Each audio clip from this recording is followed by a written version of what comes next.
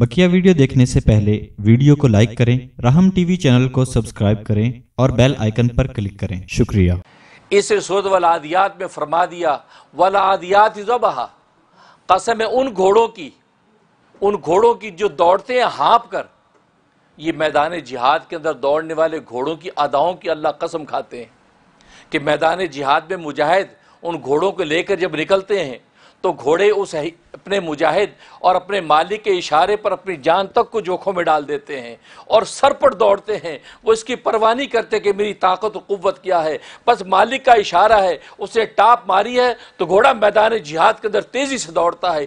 اتنا تیز دوڑتا ہے کہ اس کی سانس پھول جاتی ہے۔ اللہ کو اس کی ادا اتنی پسند آئی کہ اپنے آقا کے نام پر کیسا دوڑتا ہے۔ اپنے آلہ پر اپنے آپ کو کیسا قربان کر رہا ہے کہ اول آدیات زبہ قسم، ان دوڑنے والے ہمارے گھوڑوں کی کہ دوڑنے کی وجہ سے ان کی سانس پھول جاتی ہے۔ اس پھولی ہوئی سانس کی ادا اللہ کو ایسی پسند آ گئی، اللہ نے اس ادا کی قسم کھا لی۔ فل موریات قدہ پھر آگ جلانے والوں کی ٹاپ مار کر مطلب یہ کہ اتنا تیز دوڑتے ہیں، وہ سنگلاک جنگلوں سے دوڑتے چلے جاتے ہیں، پہاڑوں کو عبور کرتے چلے جاتے ہیں، چٹانوں سے گزرتے چلے جاتے ہیں، یہاں تک کہ پتھریلے زمینوں میں بھی اپنے پاؤں جب رکھتے ہیں، پتھروں کے اوپر جب ان کا پاؤں ٹکراتا ہے اس کے نیچے لوہے کی نال لگی ہوتی ہے، پتھر سے جب ٹکراتے ہیں تو چنگاریاں نکلنے لگتی ہیں۔ اللہ کو یہ ادا اتنی پسند آئی کہ انہوں نے کوئی پرواہ نہیں کی، ان کا پاؤں پتھر پہ پڑتا ہے یا پاؤں زمین پہ پڑتا ہے، لیکن اپنی ماں آقا کے اشارے پر وہ سرپٹ دوڑتے چلے جاتے ہیں۔ تو وہ ادا اللہ کو ایسی پسند آئی، فرمایا، فل موریات قدہ پھر آگ جلانے والوں کی ٹاپ مار کر۔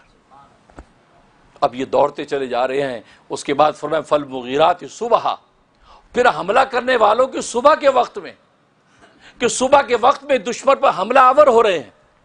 رات بھر دوڑتے رہے رات بھر دوڑتے رہے یہاں تک کہ صبح کے سویرے میں آرام کے لیے بیٹھے نہیں ہیں، مالک کے اشارے پر دوڑتے چلے جاتے ہیں۔ یہاں تک کہ صبح کے دن کے سویرے میں دلیروں اور بہادروں کی طرح بزلوں کی طرح اندھیرے میں شب خون نہیں مارتے، بلکہ دن کے سویرے میں جا کر دشمن پر حملہ آور ہوتے ہیں۔ یہ گھوڑوں کا، یہ بہادری کا، یہ عنصر اللہ کو ایسا پسند آیا کہ اللہ نے اس ادا کی بھی قسم کھائی کہ فل مغیرات صبح، کہ پھر صبح کے وقت میں حملہ ہونے والے۔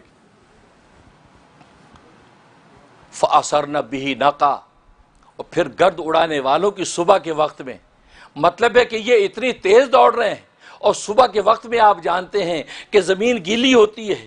رات کو شبنم پڑتی ہے، ایک گیلی تہ زمین پہ آ جاتی ہے، گرد اڑتی نہیں ہے، جب تک کہ کوئی سخت اس پہ چیز نہ لگے اور وہ گیلی تہ ٹوٹے، اب یہ گرد اڑتی ہے اور یہ گھوڑے اپنے مالک کے اشارے پر اتنی تیزی سے توڑے چلے جا رہے ہیں۔ یہ ادنا حیوان اپنے آپ کو اپنے آلہ پر ایسا قربان کرتا چلا جا رہا ہے کہ اپنی ٹاپ جب مارتا ہے تو گیلی کے تہ ٹوٹ جاتی ہے۔ جب گیلی کے تہ ٹوٹتی ہے، اندر سے گرد اڑنے لگتی ہے۔ تو خدا نے اس ادا کو اتنا پسند کیا، اللہ نے اس کی قسم کھائی۔ اٹھائی کہ فاثر نبی بھی نہ کہا کہ پھر صبح کے وقت میں گرد اڑانے والوں۔ اب دیکھو، یہ ادنا اپنے آپ کو آلہ پہ قربان کر رہا ہے۔ وہ دیکھتا کہ میرے مالک نے مجھے اشارہ کر دیا، بس مجھے دوڑنا ہے۔ مجھے منزل پہ پہنچنا ہے جہاں مالک چاہتا ہے۔ مجھے اپنے آرام کی پروانی کرنی۔ یہی وہ قربانی ہے کہ جب گھوڑا قربانی دے رہا ہے، اس قربانی کے نتیجے میں اللہ تبارک و تعالیٰ نے اس گھوڑے کی اداؤں کو اتنا پسند کیا ہے کہ اس گھوڑے کی اداؤں کی قسم کھا رہے ہیں۔ فوسطن بھی جمع۔ اور پھر اسی گرد و غبار کی حالت میں وہ دشمن کی فوج میں گھس جاتے ہیں۔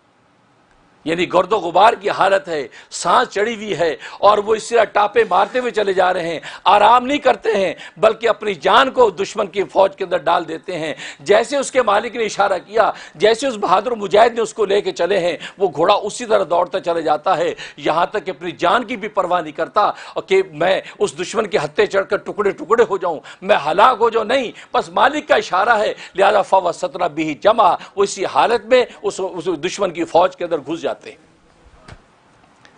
اب دیکھو، ادنا اپنے آپ کو اعلیٰ پر قربان کرتا چلا آتا ہے۔ اور میں نے کہا، اسی کو تو قربانی کہتے ہیں۔ جب وہ قربانی انسان دیتا ہے، جب حیوان قربانی دیتا ہے، تو اللہ تبارک و تعالیٰ اس کے مقام کو بلند کر دیتے ہیں۔ اس کا مقام اتنا بلند کر دیا کہ اس اس جہاد کے اندر دوڑنے والے گھوڑوں کی اداؤں کی اللہ قرآن میں قسم کھا رہے